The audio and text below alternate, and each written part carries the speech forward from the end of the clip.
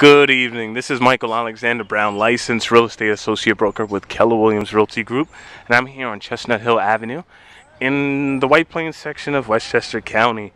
And what I have here, it's a, it's a really a good deal here. I have this huge single family house, 8 Chestnut Hill. Um, it's four bedrooms, three baths, and it's over 3,000 square feet. Um, it's currently being rented. Then I have the lot next door, which is a buildable lot. You can build a two family on this property or a three family. And then I got a six unit building over here at 12-14 Chestnut Hill. So to combine all three properties, it's a 7% cap rate. Uh, with just the six unit building alone, it's an 8% cap rate.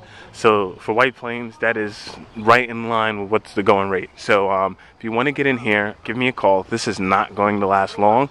You can reach me here at 718 541 6149. Once again, it's 718 541 6149.